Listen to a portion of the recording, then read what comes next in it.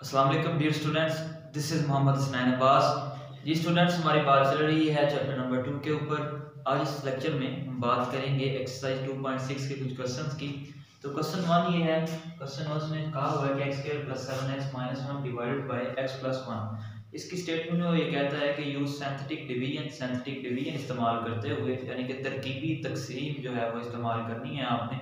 Find the question हासिल किस्मत आपने जो है वो बताना है उसे क्वेश्चन बताना है एंड रिमाइंडर और बाकी बताना है। व्हेन जबकि उसने हमें इक्वेशन दे दी हुई है x square plus seven x minus one के डिवाइड हो रहा है एक्स प्लस वन से। स्टूडेंट्स ये क्वेश्चन करने के लिए सबसे पहले जो है वो हमें लेट करना पड़ेगा कि ये जो इक्वेशन है वो किसके इक्वल है। तो इसके सोल्यूशन के ऊपर बात करते हैं। ये इक्वेशन जो है मैं रख लेता हूँ कि ये पी ऑफ़ एक्स जो है वो इक्वल टू है x square plus seven x minus one जी, ये मैंने इसलिए किया कि ये जो आपको दी हुई है, पहले देखें, ये कांस्टेंट टर्म है, फिर x का कोफिशिएंट है, फिर x स्क्वायर का कोफिशिएंट है। तो इसका मतलब ये ठीक जा रहा है, हमारे पास इक्वेशन जो मुसावा दी हुई है, वो बिल्कुल ठीक है। अगर वो आपके पास यहाँ पे x ना होता, यानी कि ये फ़र्ज़ करें ये 7x ही ना होता तो इक्वेशन में सिर्फ़ ये कहता है कि x स्क्वायर माइनस वन है तो आपने इसको डिवाइड करना है x प्लस वन से।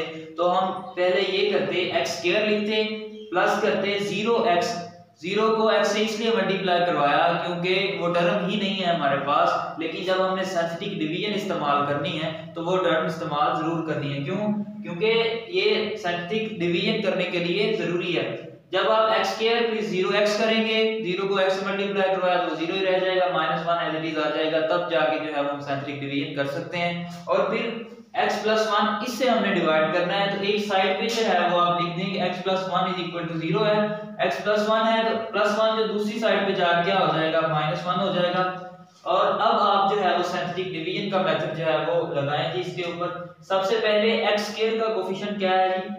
1 है। और x का कोफिशिएंट क्या है? जी 7 है और कांस्टेंट टर्म जो है वो -1 है। इसको आपने डिवाइड करना है किसके साथ? माइनस वन के साथ। यहाँ आप लिख सकते हैं कि एक्स आप क्या लेके जा रहे हैं? माइनस वन उससे डिवाइड करना है आपने। फिर अब पहली जो टर्म होगी, वो बिल्कुल एज इट इज़ ही आएगी, जैसे ऊपर लिखी हुई है। अब हमारे पास एक आंसर आ गया है। इसको हमने, ये वन है, ये माइनस वन है। वन को जब माइनस वन से मल्टीप्लाई करवाएँगे तो हमारे पास माइनस वन आ जाता है। अब हमने ये करना है कि सेवन ये माइनस वन है, इन दोनों को हमने प्लस करना है ऐड करना होता है, इन दोनों चीज़ों को। अगर यहाँ भी कुछ आ जाएगा, हम उन दोनों टर्म्स को, दोनों नंबर्स को ऐड करेंगे। ये प्लस सेवन है, ये माइनस सेवन है तो ये हमारे पास आ जाएगा जी सिक्स और जब हम सिक्स को माइनस वन से मल्टीप्लाई करवाएँगे तो ये हमारे पास माइनस सिक्स आ जाएगा। माइनस सिक्स माइनस सेवन तो ये हमारे पास माइनस वन और माइनस सिक्स माइनस सेवन हो गया जी। अब एक और चीज़, जो लास्ट वाली टर्म होगी वो हमारे पास रिमाइंडर होगा जी, और उससे पहले जो होगा, वो हमारे पास क्वेश्चन होगा। तो क्वेश्चन लिख लेते हैं पहले। क्वेश्चन अगर आपने एज इट इज़ जैसे लिखना चाहें तो ऐसे लिख सकते हैं, नहीं तो आप इसे क्यू ऑफ़ एक्स की टर्म में भी लिख सकते हैं। जी, वो क्या आ गया है? तो सबसे पहले इक्वेशन में आपने इस साइड से जो है वो स्टार्ट करना है। देखें, ये कांस्टेंट है आपके पास, फिर से आपके पास एक्स का कोफिशिएंट आ रहा है तो यहाँ आप लिख सकते हैं x प्लस सिक्स प्लस इसलिए लिखा क्योंकि हमारे पास ये जो कांस्टेंट है, ये प्लस का अगर माइनस का होता तो मैं माइनस सिक्स लिखता। अब रिमाइंडर का मैंने बात करनी है। तो रिमाइंडर में ये है, जो आखिरी टर्म होगी, वो हमारे पास रिमाइंडर होगा जी, वो माइनस सेवन है। तो स्टूडेंट्स ये था क्वेश्चन नंबर वन का पार्ट वन अब इसके पार्ट टू की बात करते हैं। अगर हम बात करें पार्ट टू की तो इसमें उसने हमें दिया हुआ है four x cube minus five x plus fifteen divide by x plus three तो हमने इस तरीके से जो है वो सिंथेटिक डिवीज़न वाला जो मेथड है वो इस्तेमाल करते हुए इसमें जो है वो हमने आंसर निकालना है इसके सोल्यूशन की बात कर लेते हैं। सबसे पहले पी ऑफ़ एक्स लिख लें जी आप। जी x 4x क्यूब आ जाएगा। अब आप देख सकते हैं कि इसमें हमारे पास x स्क्वायर वाली टर्म नहीं है तो हम ऐसा करेंगे जी प्लस ज़ीरो एक्स कर देंगे। ज़ीरो एक्स स्क्वायर आ जाएगा साथ, क्योंकि x स्क्वायर वाली टर्म नहीं है हमारे पास। और प्लस माइनस आ जाएगा जी फाइव एक्स प्लस फिफ्टीन और x प्लस थ्री है तो एक साइड पे आप जो है वो लिख देंगे x plus three plus three side पे जाकर माइनस थ्री हो जाएगा। आपने x जो है वो माइनस थ्री लेके चलना है, उससे डिवाइड करना है आपने। तो x क्यूब का जो कोफिशिएंट है वो फोर आ जाएगा। X स्क्वायर का ज़ीरो ये माइनस फाइव और ये फिफ्टीन आ जाएगा हमारे पास।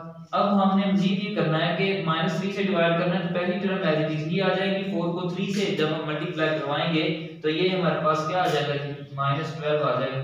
तो ये माइनस ट्वेल्व जो है वो एज इट इज़ ही आ जाएगा। अब ये अगर हम ट्वेल्व को थ्री से मल्टीप्लाई करवाएँ तो हमारे पास क्या आ सकता है जी?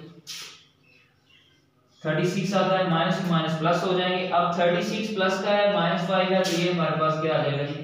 थर्टी वन आ जाएगा। अब थर्टी वन को अगर थ्री से मल्टीप्लाई करवाते हैं तो ये हमारे पास नाइनटी थ्री आंस आता है जी। और माइनस भी है साथ तो हम माइनस लगा देंगे। और जब प्लस 15 है और माइनस नाइनटी है तो ये हमारे पास माइनस सेवेंटी आ जाएगा। अब आप जो लास्ट टर्म होगी, वो आपका रिमाइंडर होगा, बाकी जो है वो आपका हासिल किस्मत, यानी कि क्वेश्चन होगा। ये कांस्टेंट टर्म है, ये x का कोफिशिएंट है, और ये जो है, ये आपके पास x स्क्वायर का कोफिशिएंट है। तो q ऑफ़ x क्या हो गया? ये हमारे पास q ऑफ़ x क्या आ गया?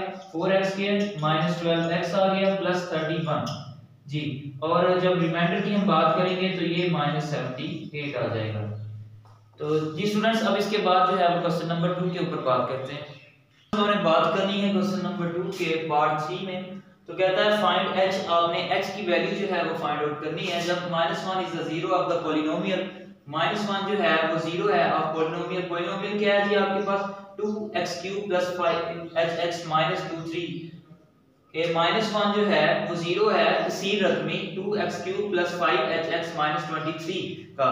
तो आपने ये इक्वेशन लेके चलनी है और ये जो माइनस वन आपको बताया हुआ है उसने तो ये रूट है आपका तो इसको आपने जो है वो इससे डिवाइड करना है। इस इक्वेशन को तो आपके पास h की वैल्यू आ जाएगी। और नेक्स्ट ये जो माइनस वन द ज़ीरो इसका क्या मतलब है? वो जब हम क्वेश्चन सॉल्व करेंगे तो आपको बखूबी अंदाज़ा हो जाएगा। तो सोल्यूशन के ऊपर बात करते हैं। जी, सबसे पहले p ऑफ़ x क्या होगा? यहाँ टू एक्स क्यूब आ जाएगा। और अब यहाँ पे फिर आपके पास जो है वो एक्स स्क्वायर वाली टर्म नहीं है तो हम अपनी तरफ़ से ज़ीरो एक्स स्क्वायर ऐड कर देंगे प्लस फाइव एच एक्स आ जाएगा माइनस ट्वेंटी थ्री आ जाएगा। जी, मजीद देखें कि अब आपने जो है, उसने दिया हुआ है कि आपने माइनस वन से जो है वो डिवाइड करना है। तो माइनस वन लिखते हैं एक्स टू माइनस वन आ गया। और अब एक्स के क्यूब का जो कोफिशिएंट है वो टू है। एक्स स्क्वायर का वो ज़ीरो है और एक्स का जो कोफिशिएंट है, वो फाइव एच आ गया है। और जो कांस्टेंट टर्म हमारे पास आ रही है, वो नाइन माइनस ट्वेंटी थ्री आ रही है। और हमने डिवाइड किससे करना है जी? माइनस वन से करना है। अब जो पहली टर्म है, वो एज इट इज़ आ गई। टू वन टू को मल्टीप्लाई करवाना है हमने माइनस वन के साथ। जब टू को माइनस वन से मल्टीप्लाई करवाया तो ये माइनस टू आ जाएगा। तो minus two as it is ही आ जाएगा हमारे पास आंसर और जब माइनस टू को माइनस वन से मल्टीप्लाई करवाएँगे तो ये हमारे पास क्या आ जाएगा जी? टू आ जाएगा, क्योंकि माइनस माइनस प्लस हो जाएगा। अब यहाँ पे फाइव एच प्लस टू हमारे पास आ गया अब फाइव एच प्लस टू को हमने माइनस वन से मल्टीप्लाई करवाया तो माइनस फाइव एच आ गया एक तो। जब प्लस टू को माइनस वन से मल्टीप्लाई करवाएँगे तो ये माइनस टू आ जाएगा।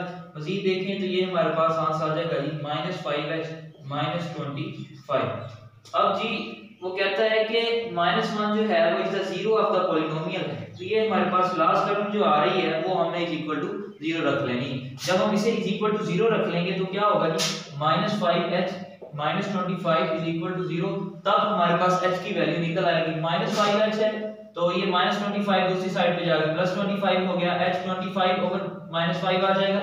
माइनस फाइव और ये फाइव से जब कट करेंगे तो हम पाँच पाँच बार पच्चीस होता है तो ये हमारे पास माइनस फाइव एच की वैल्यू आ गई। अब इसी तरह के जो मजीद पार्ट्स हैं, वो क्वेश्चन नंबर टू के वो आपने खुद कर लेने हैं। क्वेश्चन नंबर थ्री में अगर मैं बात करूँ तो उसमें ये कहता है कि साइंटिफिक डिवीज़न आपने इस्तेमाल करनी है तो find the values of l and m l और एम की वैल्यूज़ फाइंड करनी है। आपको दो उसने जो है वो पेयर्स दे दिए हुए हैं। एक जो है, अगर मैं फ़र्स्ट पार्ट की बात करूँ तो x प्लस थ्री है एंड दूसरा जो है वो x माइनस टू है। Other factors of the polynomial एक पॉलिनोमियल दिया हुआ है उसने आपको। आपने एक तो उसे x प्लस थ्री से जो है वो डिवाइड करना है, यानी कि x is equal to minus three आ जाएगा, फिर दूसरा फैक्टर x माइनस टू है। इसका मतलब है x की वैल्यू टू आ जाएगी। तो उससे डिवाइड करना है, आपके पास l और m की वैल्यूज़ आ जाएँगी। किस तरह आएँगी? आपने ये करना है कि उन दोनों के जो लास्ट वाले होंगे, वो आपने जो है वो लेके रखने हैं। ये ये जो है एक हो जाएगा और फिर इसके बाद दूसरे का जो आएगा, वो आपने रखना है तो आपके पास आंसर हो जाएगा। तो ये स्मार्ट सिलेबस में आपके शामिल नहीं है। इसके बाद क्वेश्चन नंबर फोर की बात करते हैं। क्वेश्चन नंबर फोर में ये है कि solve by using synthetic division if 2 is the root of the equation आपको जो है उसने बताया हुआ है कि 2 जो है वो रूट है इक्वेशन का x3 28x 48 is equal to 0 अब आपने इक्वेशन वैसे ही लिखनी है, जैसे मैंने ये लिखी है, उसने आपको रूट भी दे दिया है। तो आपने ये करना है कि उससे डिवाइड करना है और जो इक्वेशन आपके पास यहाँ ये बनेगी, ये जो इक्वेशन बनेगी, इधर जो है वो रिमाइंडर आपका ज़ीरो आ जाएगा। इक्वेशन जो बन रही है मतलब 2x 3 1 0 आ गया। इक्वेशन आपकी यानी कि यहाँ पे आंसर आ गया। क्वेश्चन नंबर 4 की मैं बात कर रहा हूँ। तो आपने ये करना है कि उन इक्वेशन का जो आपके पास बन रही है, उसके फैक्टर्स बना लेने हैं और जो है मजीद जो है वो एक्स की वैल्यू जो है, यानी कि मजीद रूट्स उसे बताने हैं क्या क्या आंसर जो है वो, एक या दो आंसर आएँगे उसके तो वो आपने बता देने हैं। अब इसके बाद मैं क्वेश्चन नंबर फाइव के ऊपर आता हूँ। क्वेश्चन नंबर फाइव ये है, कहता है solve by using synthetic division synthetic division इस्तेमाल करते हुए आपने ये बताना है कि वन वन है and three are the roots of the equation उसने कहा हुआ है कि एक्स की पावर फोर है माइनस टेन एक्स स्क्वायर है plus nine is equal to zero ये बताना है उसे कि ये जो हमें दिए हुए हैं वन एंड थ्री ये रूट्स हैं, उसके और मजीद हमारे पास दो तीन आंसर आ जाएँगे। ये जो क्वेश्चन है, एक ही तरह के हैं सारे तो ये आप लोगों ने कर लेने हैं। अब मैं क्वेश्चन नंबर फाइव के ऊपर बात करता हूँ। क्वेश्चन नंबर की बात कर रहे हैं हम। इसके पार्ट वन है one and three are the roots of equation x की पावर फोर है माइनस टेन एक्स स्क्वायर है plus nine equal to zero तो इसके लिहाज ये इक्वेशन लेके चलनी है और हमने इनसे डिवाइड करना। अब पहले जो है वो हमें एक रूट दिया हुआ था, होता था, हम उससे डिवाइड करते थे। अब उसमें दो दे दिए हैं तो हमने उससे जो है वो डिवाइड करना है। और नेक्स्ट जो है क्वेश्चन सॉल्व करना है। तो इसके सोल्यूशन की बात कर लेते हैं। सबसे पहले p ऑफ़ x क्या होगी? हमारे पास जो इक्वेशन हमने बनानी है, जिसे लेके चलना है, जिसको डिवाइड करना है, वो कौन सी होगी?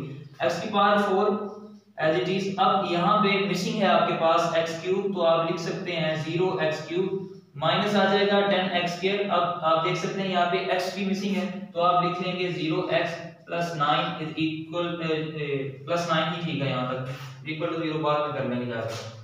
अब मजीद आपके पास जो है वो रूट वन एंड थ्री आपने तरतीब वाइज चलना है, जैसे उसने आपको दिए होंगे, यानी कि थ्री को पहले रख लेना, पहले जो है वो आपने वन से करना है। तो रूट्स हमारे पास क्या है जी? वन एंड थ्री तो अब आप जो है उनके कोफिशिएंट्स को देखें, x की पावर 4 है, इसका कोफिशिएंट 1 है, x क्यूब का कोफिशिएंट 0 है, और x स्क्वायर का -10 आ गया जी। x का 0 है, और कांस्टेंट टर्म जो है वो हमारे पास 9 आ रही है। हमने सबसे पहले तो इसे 1 से डिवाइड करना है। तो ये एज इट इज़ अब वन को वन से मल्टीप्लाई कर रहा है तो ये एज इट इज़ आ गया।